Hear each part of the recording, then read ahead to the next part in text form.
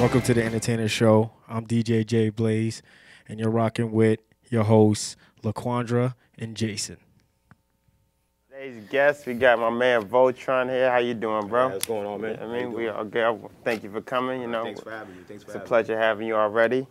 So, you know what I mean? We want to know, you know, we know you're a dancer and all. So we want to know where you from, bro. I'm from right here in Cambridge, man. Cambridge, Massachusetts. Born and raised. Oh, that's what's up. That's what's up. So, um, what? Well, how did you start? Actually, how did you start dancing? How did I start dancing? All right. Well, I mean, started like a lot of typical people started. Um, you know, I was three years old, you know, watching Michael Jackson. You know, um, I think the first video I saw was um, Bad, Bad video. And um, I started watching him all the time, listening to his music. And then I guess there was one um, situation, my mom tells me, I don't really remember it. I was about three years old in the tub, and um, Thriller was playing. Mm-hmm. And my mom went to go check on me in the tub. Mm. And then when she came into the, the bathroom, I wasn't in there. Oh. And she's like, oh, where's my son? Where's my son? Where'd he go? So she runs to the living room, and I'm standing there naked, just standing there, just moving my leg, doing the, trying to copy the, the choreography, dripping wet. And I'm, I was a very quiet kid, so Yeah. she knew if I was excited, it was something, you know, Something, big, yeah. something major. So I was just mimicking Michael Jackson. Um, but I didn't really start dancing mm-hmm. until I was 21, Really? 20, 21 years old, yeah. So the, the influence was always around me, but um, you know, my- I have older siblings who dance. I have an older brother, he's 42 now, he, he was a dancer, and my older sister's a dancer. But um, I didn't really get into it until I was about 20, 21 years old. Wow. Yeah, you know, life has its, you know, Yeah. influences and society gets to your brain and a lot of peer pressure and, Right. you know, not having that identity within self, you know. Right. Like a lot of men that have, I didn't have a father really in my life, so I didn't, I was spending most of my life trying to find myself. Mm-hmm. Um, but, you know, dance was like, ah, I'm going to pull you back in. Right. You know. That's up. So does that like, does all that like identity thing come out in your dance? You know what I mean? Like, Yeah, yeah, it does because you know dance is you know it's an ex- form of expression. Mm-hmm. So when I dance, you know I'm not really just do I'm not just displaying movement. I'm actually telling a story. Mm-hmm. Right. You know what I mean whatever that story may be, it depends on what the music you know tells you and how the music moves you. Right. You know every song has its own personality.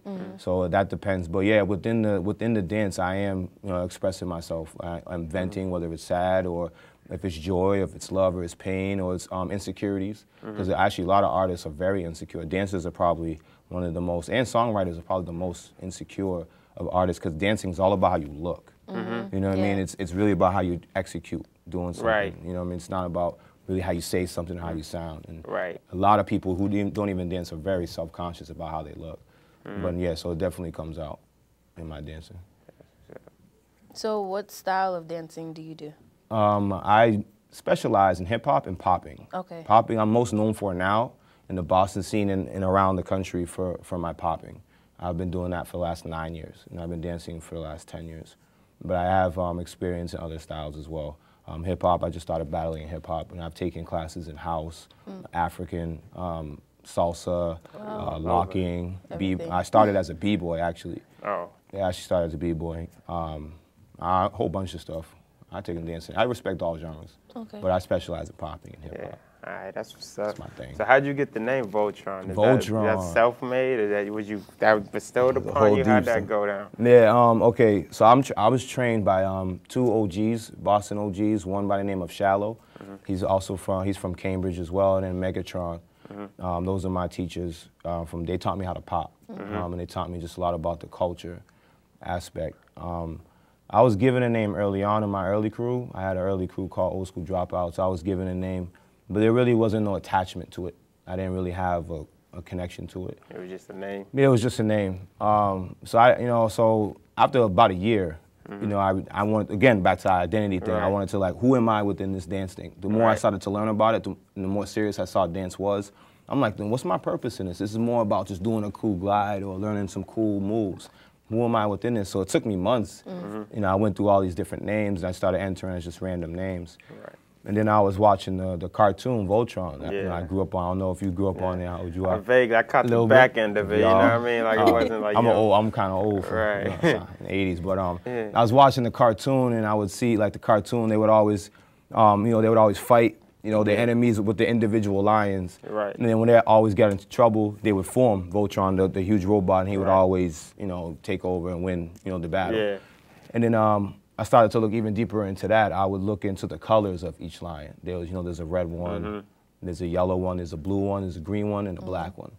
So for me, I realized when I dance, I'm, I'm a very, um, my, one of my strengths and or weaknesses was my passion and my presence when I dance. So I like to be in control of like, I'm a very emotional person, so I like to be in control of my emotions when I dance or when I do anything. So I can you know, execute and, and clearly convey what it is I'm trying to, I'm trying to do and express. So I took Voltron because every color of every lion represents a different emotion. Right. So you have like green is like the earthy and humble side that I have. Uh, red represents the fiery side. You know, we're not, we're not Right. all one way. I guess sometimes I'm very fiery too, especially when I'm battling. And then you have blue. Blue is kind of like when you're like, you know, um, depressed. Oh, de- it's like when you're depressed. When you're feeling blue, a little sad. You know what I'm saying? Yellow is weakness. You know that you, people say you're yellow belly when you when you Yeah. show weakness. And then um, you have black for me is a state of limbo. And sometimes we're all we don't we're not quite sure what we're doing in our lives. We're not quite sure how we're feeling. You're just in a state of limbo. You're in between. Right. And I, f- I get that way all the time as well. But then when all those emotions combine, and if you can control them, you're unstoppable. You know, so that's what the robot does. That's what I do. All right, that was deep, bro. Oh nah, nothing on the surface with me, man. Turned Everything's Voltron beneath. into something else, man. Oh yeah, it's, it's it's a part of me. That's what I'm saying with this whole dance thing. It's, it's not, no, it's not just. It sounds good with TV shows. It's entertainment. It is. You know, it's beautiful that there's a lot of money to be made with it. But mm-hmm. and if you go into the culture aspect, it's a lifestyle. You know, I mean, people walk it all the time. They live it all the time. If you call somebody out on their dance name, that for them, that's that's all they have. Right. You know what I mean? So their dance name is everything. So you, I'm dance. You call me out, your Voltron. We, I'm gonna step mm-hmm. on the dance floor. I'm gonna, I'm gonna go out and, and put my essence into every move I do because that's all I got. Right. So when people go, oh, you dance, just show me something. Mm-hmm. I mean, I can show you something, but I'm not really honestly expressing myself. That's the same thing with me too. You Yeah. know, I'm a comedian. And be like, yo, tell me a joke. I be like, I'm not in my essence. Like you said, I'm Yeah, not in my yeah. essence to be telling you. Yeah, it'll be easy for me to sit here right now Right. and, and on the camera and do like some fancy tut Right. movement, but that's I'm just displaying. Right. For me to actually say something with it is a whole nother thing. Right. You know. Okay, so what do you think the hardest thing about dancing is? Hardest thing about dancing, it's, it's quite a few things actually, but I would say that the hardest thing about dancing is having patience. Um, you know, it's a process. A lot of people want to get good really fast, and Yeah. you know, they, they give up on themselves. Um, they don't give themselves a chance to achieve things that they see unattainable. So I would say um, having patience and sticking with it. Um, you know, last 10 years, I wasn't always doing dance the way I do it now, you know, and when you first start, it's very frustrating because it's easy for us to compare ourselves to, oh, look at that person so dope, or this Yeah. girl so Yeah. ill. You know, so I, I would say for me, one of the hardest things was to actually just stay with it. I actually quit for four months, you know, when I got into popping because I just was losing all the time battles. I wasn't good. Uh, my dance teacher at the time, you know, um, didn't like me as much. Um, it was just, it's very hard, you know. Every time I would go there, he used to never even call me by my name. I would tell him my Megatron this all the time. He'd be, he reminds, I used to remind him of, it all the time. You know, I ended up being one of his better students 'cause mm-hmm. I stuck with it. But I did quit for a while because you have those insecurities. Mm. You know, can I ever get this dope or it's not happening quick enough? Especially in society nowadays where everything's one touch, one thing. Right. You don't have to really dig for that anymore. You could just type it, press mm-hmm. it, boom, it's right in front of you. You know what I mean? To actually have that work ethic to beat something in over and over until it becomes part of self is very hard. Yeah. Definitely. So what's the whole culture of dance? I know it ain't like how it is in the movies, where it's just they always just meeting in some warehouse and then Get they the just mass text. like yeah, like Yeah. some lights just come out of You know, nowhere and then the there's rain- a referee rain like comes. just comes out of nowhere. Like what's that about? Like I know it's deeper than that. Uh, Have you ever battled on the warehouse? Um, in a warehouse? I mean, I don't mean, know. I I battled so many places. I don't Every dance know. movie's in a warehouse for some reason. I don't get that. There was some dance events in the warehouse, but I, I don't not like it. Don't happen. Yeah, it don't happen like that. um, it's a, that's a it's a pretty wide question, but um, the way the dance culture is, there's so many different things. Um, a lot of the dances, you know, first off, the root of them, a lot of them come from slavery. Actually, a lot of it comes from blacks and Latinos, and a lot of the moves just evolve. A lot of the moves that we do um, were always done. They just didn't have names, and then they weren't put in this box or title like, oh, this is the boogaloo roll, or this is the tutting, Right. or the b-boy, this is the six-step or CC. You know, they they were just done. Like a lot of slaves used to dance to pass time. Right. You know what I mean? So it's that stuff's always kind of been there. Um, and they used to do stuff to, you know, they used to always exchange too a lot during slavery. They used to light the fire and exchange to slavery. Right. So that's where the rap battles came in and dance battles. That's the same formula. So that stuff's always still been there. It just translates to modern. It's modern day. We call it rap rap battles. We call Right. it you know dance battles. Right. You know what I mean? So the culture, in a way, has always been there. As far as it stands today, um, the the dance culture it depends on where you are and what you do. Um, there's people who just stick to choreography. So the people who do choreography, they do a lot of stage shows and they're, they're searching for like mainstream media fame. Um, they do a lot more auditions, you know, per se. Um, they don't really discover themselves as much as individuals through dance. They learn movement, like more of steps. I'd say Yeah. choreography to me is learning steps. Not Yeah. to knock it, because I've done it. You know, I do the same thing, but it's not dancing per se to me. It's learning steps. You can anybody can learn someone else's steps, but you put music on to honestly express yourself. That's a lot harder to do. Right. Um, in the underground scene, the way the battles go down, they, they throw these events that call they're called jams. Mm-hmm. Um, jams stem from from as far as back as my knowledge goes to like the old school block parties they would have in the 70s and the 80s, where they would have like the outdoor parties and you got the DJ in the back, like my man here, and he's spinning something. And the dancers, if they had rivalries, because back then the rivalries were a lot more like just gritty or concrete mm-hmm. with each other, they would settle it through dance rather than you know gang warfare Yeah. Mm-hmm. or beef. Now it translates into these are actual just like um, sponsored events now. These are um, promoted and organized structured events called jams where it keeps the same element. You always have a live DJ. You have dancers from all kind of genres. Um, and then you have the battles, but the battles is like the highlight. It's like an exhibition, but in between you just have ciphers. That's why it's called a jam because everybody's just jamming out. Right. And you're having ciphers and people are exchanging. And if you still have a personal beef, then you can get down with that person during Right. the ciphers. Yeah. But as far as the battle aspect goes, it's just an exchange of energy. It's an exhibition. People win money for them. They get flown places, but it's all love. A lot of the dancers I've met um, in, the, in, the, in the scene is all through battling. Even my crewmates who I'm with now, you know, New School Assassins, um, we've all met through battling. So it's actually um, a good way to network and um, meet new family members. I can say I met legit new family members because we all have the same passion, Right. the same love, and it turns into like you go to Miami, um, and you battle down there, you may meet like four cats in Miami, and then they come to Boston and they remember you from Miami. It's like, oh, you give them a place to stay, and they're like, yo, next time you come out to Fort Lauderdale, I got you. Yeah. It's, a, it's a community. That's what I mean by the culture.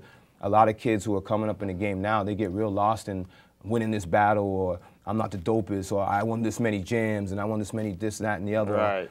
It's really not about that. All that stuff's illusionary because you can win a lot of things, and if you're still not learning, you're losing. You know, whether you win or lose, if you don't learn, you lose. You see what I'm saying? You have to learn more. There's something to be learned every time you win, and there's something to be learned every time you lose.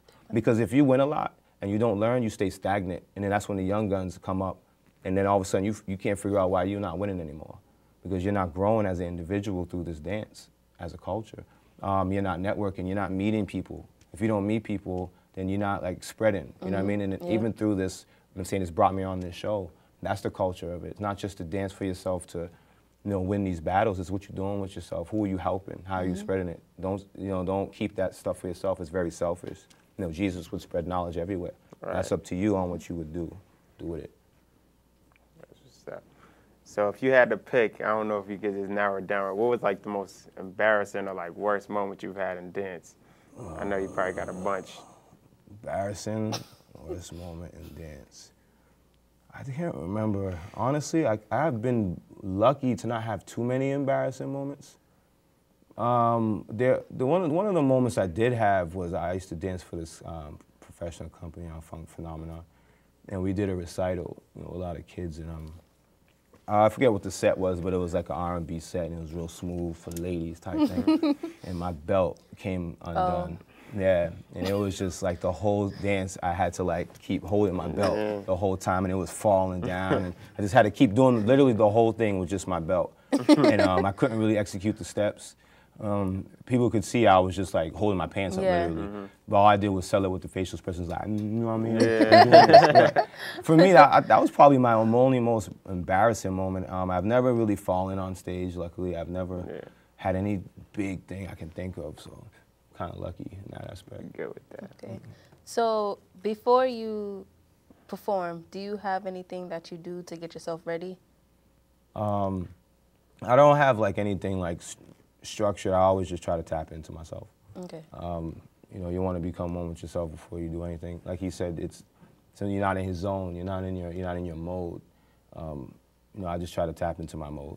Um, how whatever that is, if I say a prayer to myself, uh, if I say a prayer to I have an older brother who I'm named after who who um, died at birth. Sometimes I like to um, pray to him.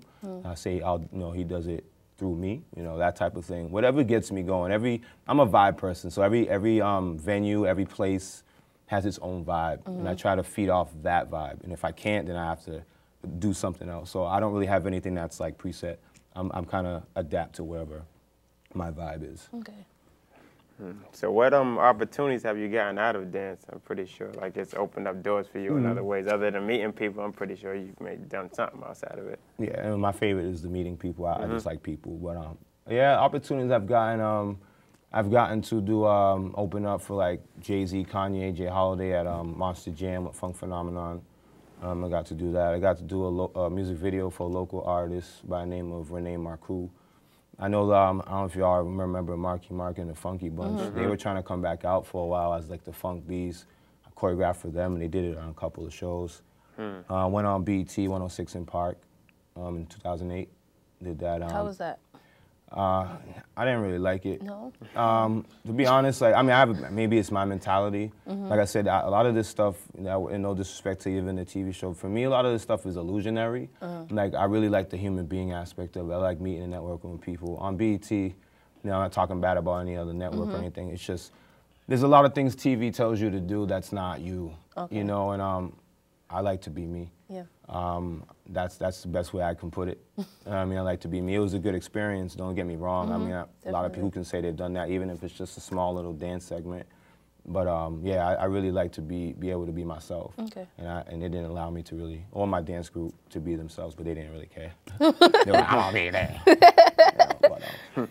Yeah, yeah, um, he brought me um, just this past summer. Uh, my dance crew, New School Assassins. Um, we just got back from Germany. Mm. And Yeah, I've been to Germany before. Czech Republic. Been to Berlin. Yeah, I, it was that was an interesting uh, it was an interesting Yeah. experience. But um, we won a um, competition in 2012 called the Mixed 3 KO. It was like a five on five, and the prize was to get flown to Germany to represent the USA against that's all the what's other countries Wow. in Europe. So we did that. We lived together pretty much for like 10 days over there, and in between we were, you know, I saw Amsterdam and France and stayed in Germany for a day, and then went to the Czech Republic for about seven days, and came back to Germany and America. And that was a crazy experience. That Sounds fun. So what do you like if you ultimately want out of dance? Is it just the culture aspect? Is it, you know, you know, is it like just something that you just ultimately want out of it or just I don't really want anything out of dance or, or from it. I just try to spread what I what I've what I've experienced through it and what it's done for me as a person. Um, you know, I didn't have uh, when I graduated high school. I didn't go to school right away, and I didn't really know what I was doing. And even when I went to school, I, I dropped out because this wasn't what I wanted to do. And that's when I started dancing. And then one thing I forgot to mention when you asked me about opportunities was um, I'm a, right now currently I'm a child care um, coordinator at the Cambridge YMCA for Alright. after school program. And I got that job through dancing first. I started out there as a dance teacher once a week. Now I'm the full-time coordinator. I run the program, not even just dancing. I just run the program, hire people, whatever it is. So for me, that's just it. Just gave me a better life in general. Like that's what I want, you know, a better life and be sustainable and be comfortable. I think that's what a lot of people. A lot of people have jobs, but they're not happy. right? Um, you know, so for me personally, I, I've gotten already a lot of things I didn't think I was gonna get. Now I want to continue to get that. I want to continue to learn more about myself as an individual. I want to continue to um, learn more about myself so I can continue to help um, people accurately um, through dance. And that way, not just to help them be dancers, if they might not even be dancers, but just with the mentality, they may be better at what they're doing. So that's that's kind of what I, I'm using dance for. Thank you. I'm saying that was you was one of the best guests we've had. Oh, I ain't gonna lie, man. man. You real informative. You make me want to start dancing a little Hey. bit. You know what I mean? put on the dancing shoes, bro. You know what I mean? So we're gonna have a little performance from our man Voltron in a minute. Stay tuned to the entertainer show. This is LaQuandra and I'm Jason Voltron. Be back. Stay tuned. What's going on, y'all? This is Nova's Neighborhood. I am your host, Reggie Nova, on The Entertainer Show. And man, that brother Voltron, he's a deep brother. Shout out to Jason and LaQuandra for putting on that great interview. But let's dive right into it. This past weekend, our mayor, Marty Walsh, he passed a bill for all the club goers, the party goers, and not the party poopers. So basically, on the weekends, the MBTA and the train service is gonna run until 3 a.m. That's right, 3 a.m. And you know how Boston is, the clubs let out at like 2, 2.30, so it's like after you had a couple drinks, and then you know, all this, all this activity and so many people around, and this is like just a great answer for all the people that, you know, had a couple drinks, because now you don't have to worry about flagging a cab home, you don't gotta worry about crashing your car.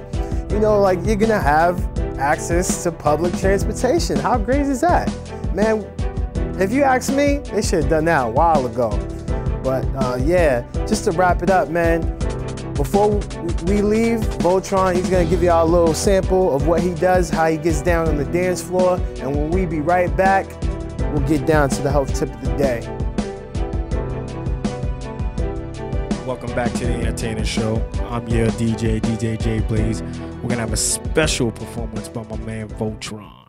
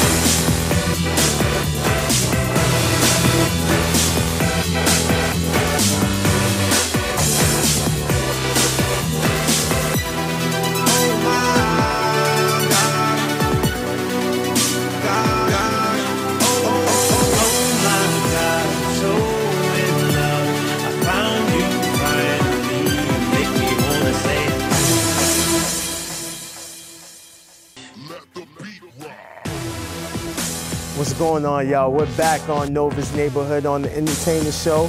And man, Voltron, he just put it down. No pun intended, man. That man got skills on the dance floor. He, he ain't seeing me, though. Oh. Yeah, yeah, I ain't ready, you know what I'm saying? Voltron, if you need a battle, holla at me. nah, man, he'll probably chew me in the first round. But yeah, man, so now we're gonna wrap it up with the health tip of the day. Today, our health tip revolves around a fruit that we all love and we're taught, you know, to eat as a youngin'. It's gonna make us big and strong. And that is a banana, one of my favorites. So not only does a banana carry vitamins A, B, and C, magnesium and potassium, but it also promotes things like brain health, brain functioning, it promotes calmness, decreases depression, and it enhances memory. So ladies, fellas out there, make sure you stack up on your bananas. You can never have enough. And that's it on Nova's Neighborhood. On the Entertainer Show, I am your host, Reggie Nova. Until next time. Yeah, that was a good, good, good, good performance, man, from my man Voltron. We're gonna bring it back to my homeboy Jason and my homegirl Laquandra for their closing. First, I want to say thank you for being a wonderful, wonderful guest. And I want to know if you have any shout outs before we go. With the last remaining breath I got, I want to give a shout out to my crew, New School Assassins, Stacks, Yo Yo, Sue Hill, my man Holly Bugs, Tammy Macho, and all my peeps back home in the bean. Love y'all. yep, yerp. I want to thank everybody for tuning into the Entertainer Show. That's our show for this week. I want to give another special thanks to my man Voltron and my lovely hostess, Laquandra. I'm Jason. We tuning out. Yerp.